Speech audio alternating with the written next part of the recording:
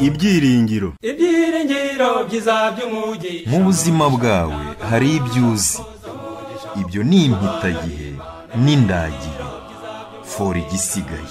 Ni ahazaza. Uko bizamera ntabwo mbizi. None se urashaka guhangana n'ahazaza? Nta gushidikanya nta n'ubwoba. Kurikira ikiganiro ibyiringiro by'umugisha kuri radiyo ijwi ry'ibyiringiro. Dutegereje ibyiringiro by'umugisha ari byo kuzaboneka k'ubwiza bwa yesu kirisito ari we mana yacu ikomeye n'umukiza. Bazutse tuzamugire rimwe. Kurira bishize ibyiringiro.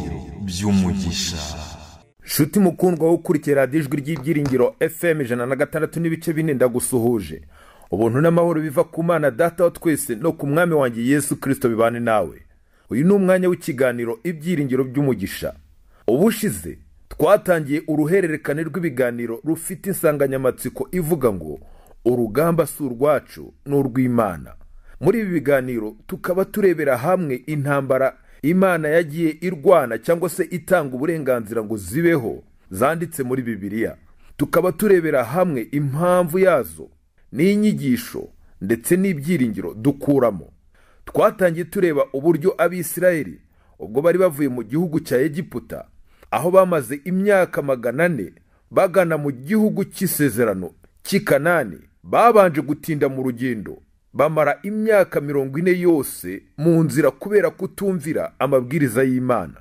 Hanyuma ubwo bari basoje iyo myaka bageze ku mupaka w'igihugu cy'isezerano byabaye ngombwa ko babanza kurwana n'abami b'abamori. Bari batuye hafi y'uruzi rwa yorodani bica abaturage baho barabatsemba nk'uko amabwiriza imana yari yarabahaye yari ari. Kandi bari bafite amabwiriza yo kubanza kurwana n'abami b'i kanani. Mbere yo gutura muri kiriya gihugu niko imana yari yavuze. Uyu munsi tugiye gusubukura iki kiganiro turebera hamwe ibya kiriya gihugu cy'isezerano. Kuri mikoro uri kumwe na eric ruhangara. Reka ngusabe mbere y'uko dukomeza tubanze twambaza imana kugira ngo ituyobore. Uri imana ikomeye imana ishobora byose imana imenya byose. Data twese uri mu ijuru izina ryawe ryubahwe ishimwe n'ikuzo bibi byawe iteka ryose kuko ubikwiriye. Tugushimiye uyu mwanya n'uburyo uduhaye ngo tuganire ku gihugu cy'isezerano uwahaye ubwoko bwawe bwa isiraheli. Turagusaba ngo udufashe muri iki kiganiro. Jyewe uvuga n'umuntu wese unkurikiye tumenye icyo kiriya gihugu kivuze kuri twe kandi udufashe kunyurwa n'inzira wakoresheje ngo abisiraheli babashe kukigeramo kuko inzira zawe ziratunganya iteka ryose. Tubisabye mu izina rya yesu. Amen.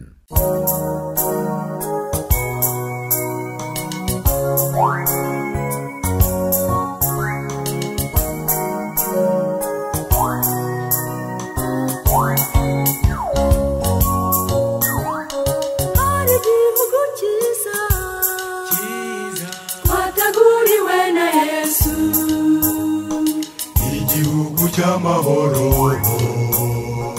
aho abera bazibera iteka umunezero udashira mu ijuru ni heza haba ibyiza gusa hakurya ya yorodani tuzabaye iteka mu ijuru ni heza haba ibyiza gusa hakurya ya yorodani tuzabaye iteka iyi ni radiyo ijwi ry'ibyiringiro fm ijana na gatandatu n'ibice bine. Turi mu kiganiro ibyiringiro by'umugisha. Tukaba turi kureba iby'igihugu cy'isezerano.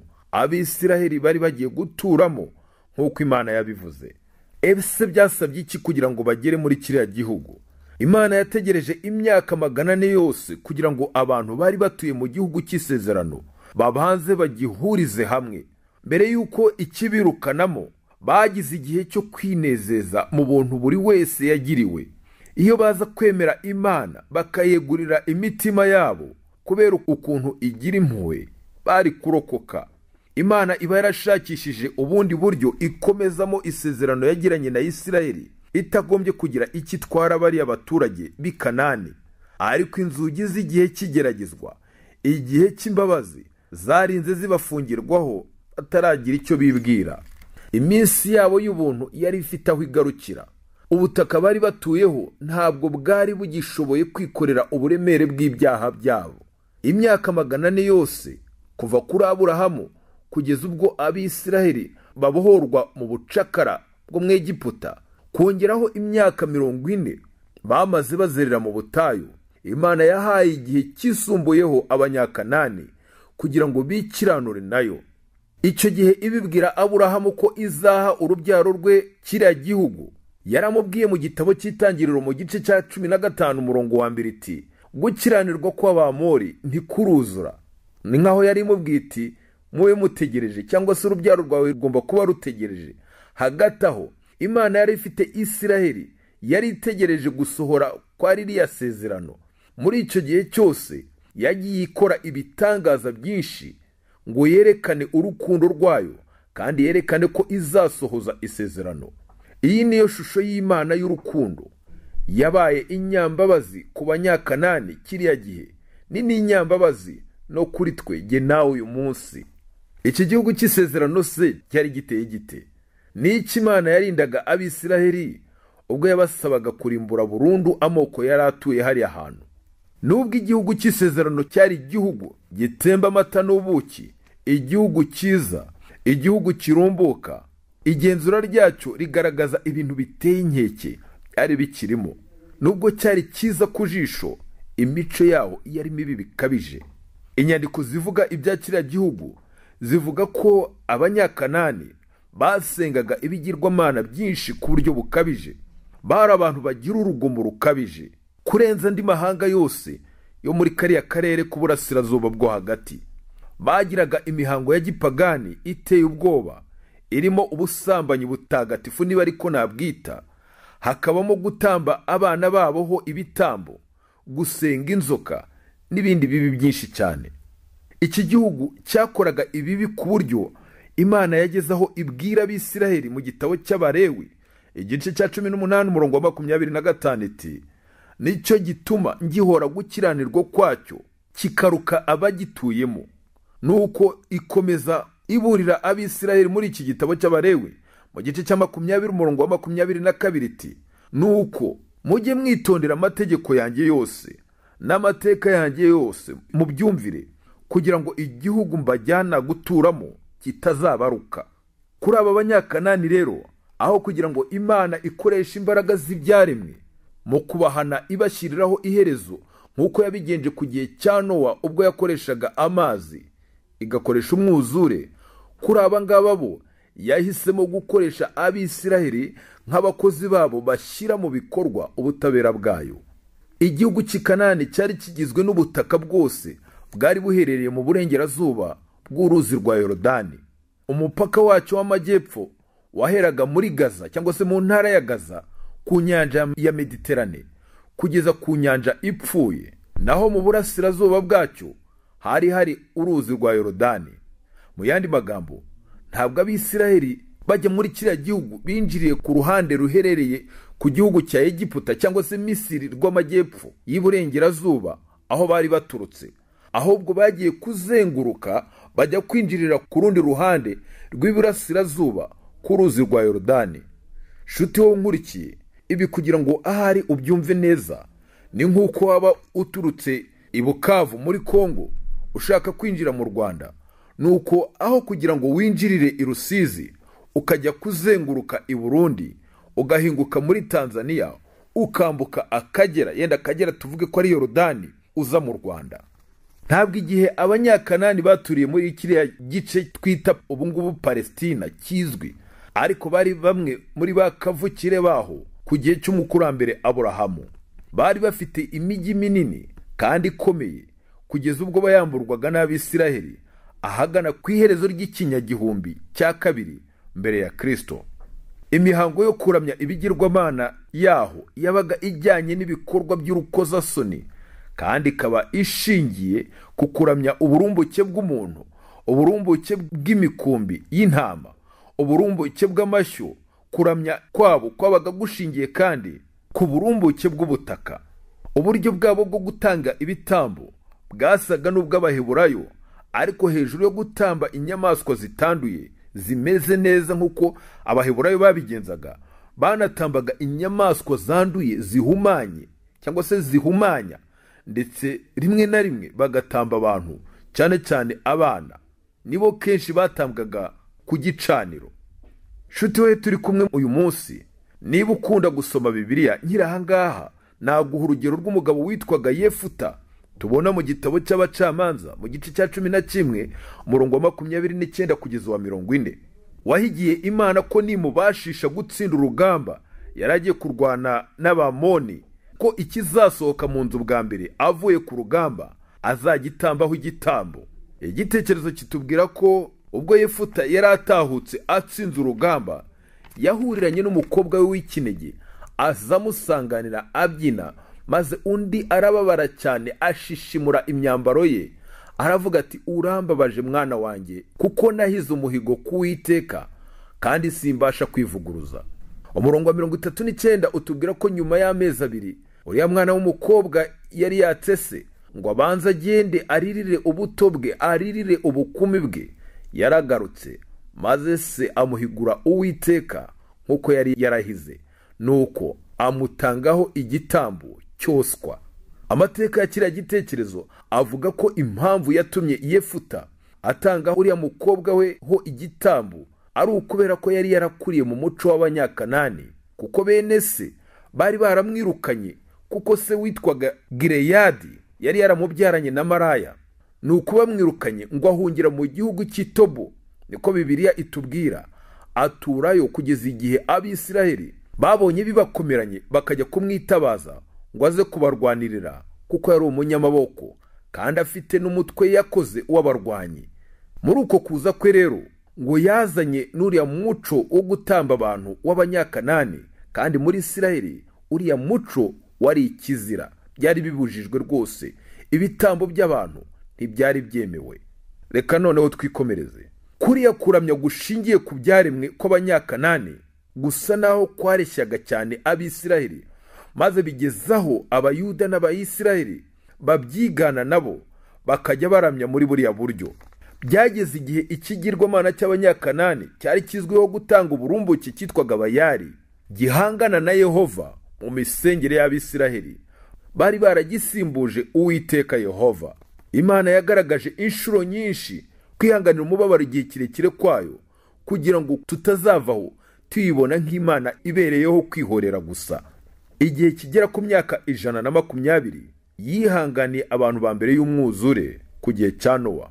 Mu mbabazi zayo kandi ikomeje gutinza kuza kwa yesu kugira ngo ihe benshi bashoboka uburyo bwo kwakira yesu nk'umwami n'umukiza wabo bwite ntishaka ko hagira n'umwe urimbuka. Kimwe n'iyi si yacu ibikombe by'ubutabera ku banyakanani bwagiye busubikwa byari birimo gusendera. Birazwi neza haba muri bibiliya ndetse no mu nyandiko z'amateka ko abanyakanani bari barakabije bari barashayishije. Bari bararengeje urugero ku buryo imana itari igishoboye kubihanganira cyangwa se kubarekera ku isi.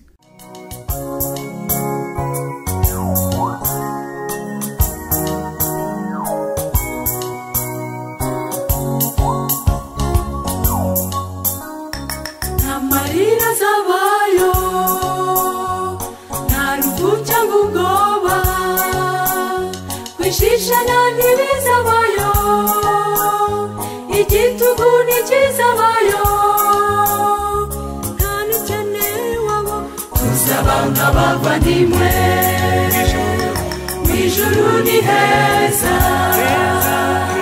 haba ibyiza gusa hakurya iteka mu ijuru ni heza haba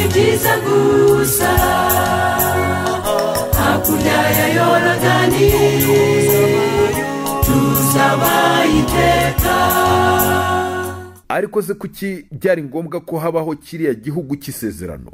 Ese kuki imana yatanze kiriya gihugu cy'abandi? Kuri ki ari hariya hantu yahisemo? Ntiyihitemo muri afurika cyangwa se ahandi ngo habe ariho haba igihugu cy'isezerano?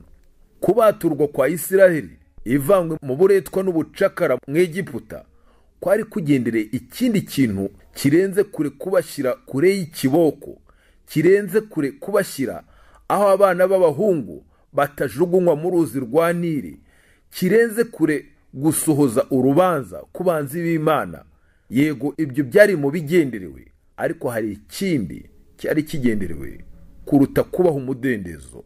Wakwibaza utese ni iki kindi cyatumye imana ibakurayo kitari ukubabohora ingoyi bari bariho? Imana yashakaga ko bajya kuyiramya. Yari igendere ko binyuze mu mubano wa gicuti n'abantu bayo. Ibikorwa byayo by'ubuntu kumenyekana kwayo ubuntu bwayo n'urukundo rwayo byari gukwira ku isi yose nk'uko amazi akwiriye mu nyanja zose. Byari bizwi neza ku isi hose ko imbaga y'abacakara yari ikuwe muri egiputa ibohowe n'akaboko gakomeye yari ifite umuyobozi w'ikirenga ukomeye witwa ndiho. Urupfu rw'abana b'imfura urw'abantu n'urw'inyamaswa byo muri egiputa ndetse no kwambuka inyanja itukura mu buryo butangaje ubwo amazi yitandukanyaga maze bakambukira ku musenyi wumutse. Ibi byarasakujwe cyane byavuzwe hose ku isi hose biravugwa cyane. Mu gihe bazereraga mu butayu iriya myaka mirongo ine yose ntabwo biriya bikorwa by'imana byari ibanga. Niba uwitwa rahabu w'iyeriko yari azi ndetse akaba yarumvise ibyabaye ku bami b'abamori ari bo sihoni na ogi. Nta gushidikanya rero n'andi mahanga yagezweho n'iriya nkuru. Aha ndakwibutsa ko iyi nkuru ya rahabu tuyibona mu gitabo cya yosuwa mu gice cya kabiri umurongo wa cyenda n'uwa cumi aho yabwiye abatasi b'abisiraheli bari boherejwe gutata igihugu bahereye i yeriko ati nzi yuko uwiteka abahaye igihugu kandi mwaduteye ubwoba ndetse abari mu gihugu bose mwabakuye umutima. Kuko twumvise uburyo uwiteka yakamije inyanja itukura muyigezeho muva mu egiputa. N'ibyo mwagiriye abami b'abamori sihoni na ogi abo mwarimbuye rwose. Tubyumvise uwo mwanya iyi mitima yacu ishya ubwoba. Nta muntu n'umwe mutakuye umutima kuko uwiteka imana yanyu ariyo mana yo hejuru mu ijuru no hasi mu isi. Iriya nkuru y'ibikorwa by'imana igomba kuba yaratumye imitima myinshi ihinduka ndetse hakagira abihana bakayihindukirira.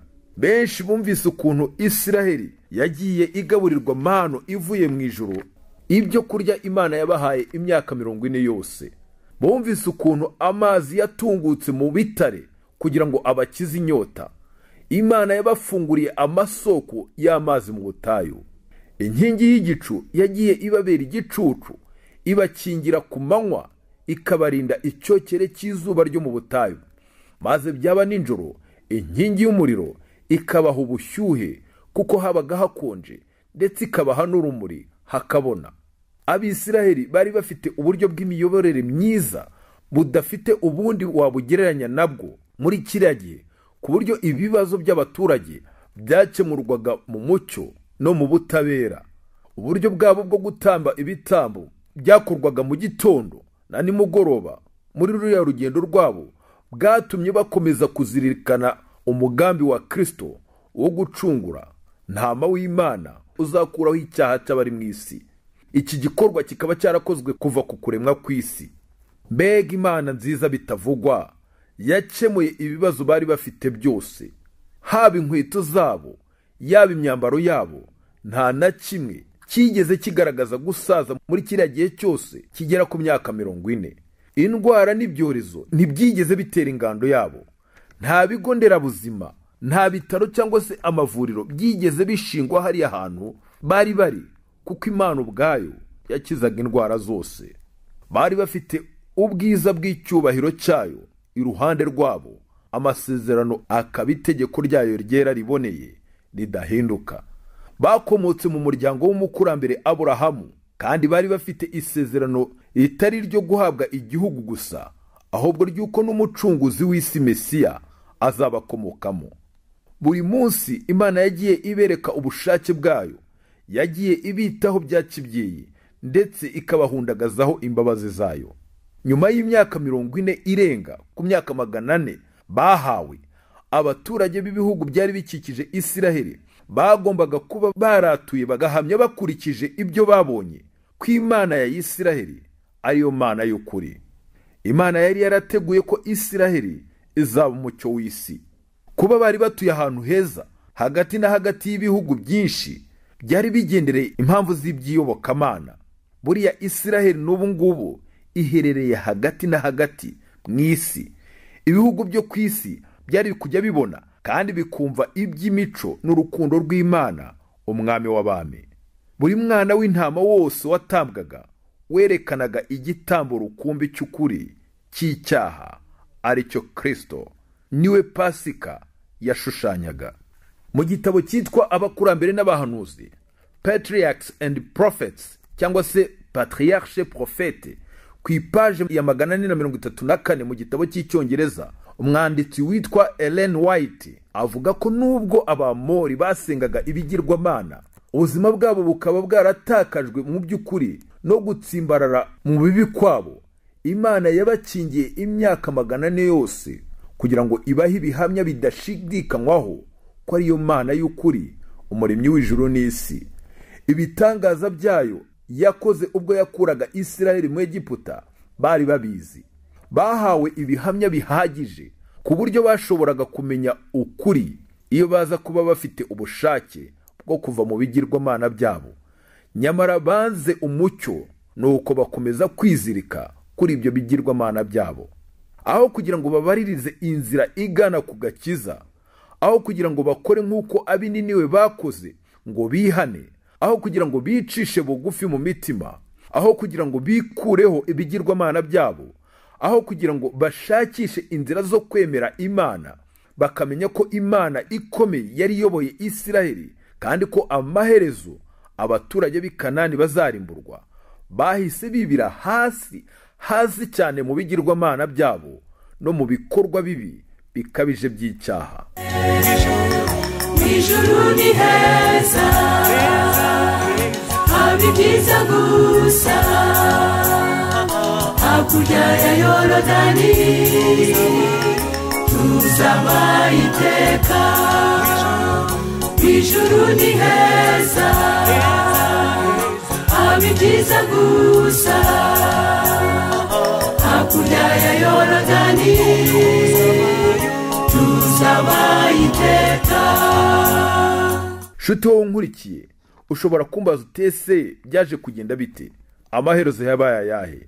Kimwe n'abantu bo ku gihe cy'umwuzure ku gihe cy'umukurambere nowa igipimo cy'ubwinshi bw'ibibi byabo byari byarazamutse bigera hejuru mu ijoro bahindutse ikizira mu maso y'imana. Mu mbabazi yari ibafitiye yari igiye kubarimbura kuko bari barasibye neza neza ishusho y'imana muri bo. Ikigeretse kuri ibyo imibereho yabo yari kwanduza abo bahuye nabo bose. Ku bw'ibyo rero mu rukundo rwayo imana yahisemo kubahanagura ku butaka bw'isi. Nguko uko ujya ubona umuntu cyangwa se abantu babaho bakarama imyaka myinshi kandi bakora ibikorwa bibi bakarama kandi baranze kwakira yesu mu mibereho yabo. Burya imana ibi ikibihanganiye. Nk'uko yihanganiye abanyakanani imyaka isaga magana ane ngo irebe ko hari icyo bakwibwira. Gukiranirwa kw'abanyabibi ujya ubona kuba kutaruzura. Nk'uko uko abamori kwari kutaruzura nk'uko imana yabibwiye aburahamu. Ndetse rimwe na rimwe uzabona bariho imibereho myiza mu by'ubutunzi mu by'umubiri ubyibazeho bikuyobere. Ariko igihe kimwe ndaguhamiriza ko mu rukundo rwayo rwinshi izabahanagura ku isi kuko ibibi byabo bizaba bitakihanganirwa. Imana yafashe icyemezo cyo kurinda isiraheli ibajyana hirya y'ibibi. Ibaha amabwiriza yo kwirinda kugira icyo bahuriraho n'abanyakanani cyose. Imana yari izi ko ingaruka z'ikibi cyazaterwa n'uko isiraheli yifatanije n'aba bapagani zitari kugira uko zingana. Ku bw'ibyo rero imana yabwiye isiraheli kujya yumvira kujya yubaha yiringiye kujya yubaha vuba ikajya yubaha idashidikanije. Isezerano imana yagiranye n'aburahamu imyaka irenga magana ane mbere yaho ryagombaga kwemezwa cyangwa gushimangirwa n'igikorwa kimwe gusa cy'ubushake bwa isiraheli bwo gukora icyo imana yasabye. Bari bagiye kwinjira mu gihugu cy'isezerano igihugu cy'ibyiza igihugu gitemba amata n'ubuki. Abanyakanani bari bagiye kucyamburwa nk'uko imana yari yarabihamije. Ubuzima bwari bugiye kuba bwiza cyane ijuru ryari rigiye kunezerwa n'isi yari igiye kwishima. Ndakeka ko iriya gahunda na biriya bintu byaje gucika isiraheli ya kiriya gihe biyica mu myanya y'intoki. Nshuti we twahuriye ku murongo w'ibyiringiro fm ijana na gatandatu n'ibice bine uyu munsi. Uko biriya byiza byacitse isiraheli ya kiriya gihe ni nako bicika isiraheli y'imana uyu munsi ariyo torero rya gikristo. Nk'uko intumwa pawulo yabyandikiye abigaratiya mu gice cya gatandatu umurongo wa cumi na gatandatu. Icyo imana yasabye isiraheli ya kiriya gihe cya kera akaba ari na cyo isaba itorero ryayo uyu munsi ni ukubaha ni ukumvira. Iki ni cyo cyabuze kuva ku mukurambere wacu adamu.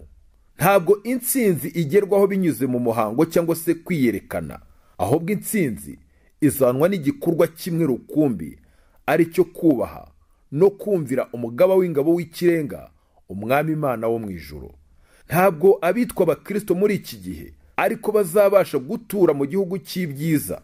Ntabwo abitwa abakristo bazabasha gutura muri kanani yo mu ijoro batabanje gukora icyo imana yabasabye batabanje kubaha batabanje kumvira. Ibi byaciye mu myanya y'intoki isiraheli ya kera. Ntabwo rwose bikwiriye kuduca mu myanya y'intoki uyu munsi. Ntabwo rwose bikwiriye ko tubaho tutumvira imana. Bikazavaho bituvutsa igihugu cy'isezerano.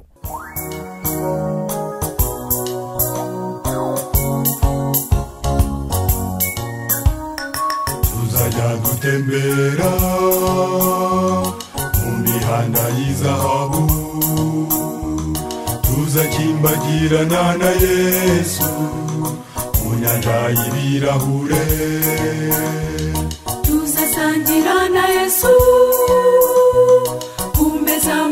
magari cyane tuzicara tugaburire twishime tunezerwe tuzasangira na yesu. Cyane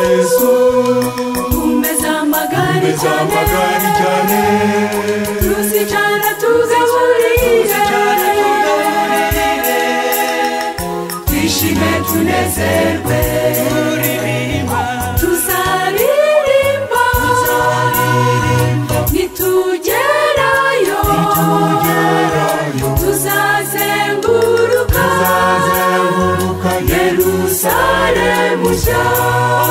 ikiganiro cyacu reka tugisubikire ahangaha uyu munsi.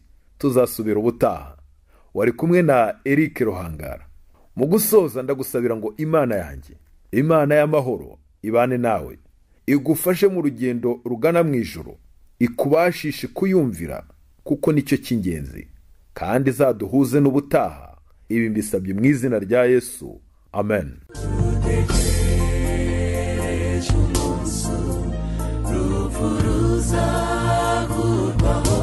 Ibyiringiro. Ibyiringiro byiza by'umugi. Mu buzima bwawe hari ibyo uzi ibyo ni impitagihe n'indagihe fora igisigaye. Ni ahazaza. Uko bizamera ntabwo mbizi. None se urashaka guhangana n'ahazaza? Nta gushidikanya nta n'ubwoba. Kurikira ikiganiro ibyiringiro by'umugisha kuri radiyo ijwi ry'ibyiringiro. Dutegereje ibyiringiro by'umugisha ari byo kuzaboneka k'ubwiza bwa yesu kirisito ari we mana yacu ikomeye n'umukiza. Bazutse tuzamugire rimwe. Kurira bizaba bishize ibyiringiro by'umugisha.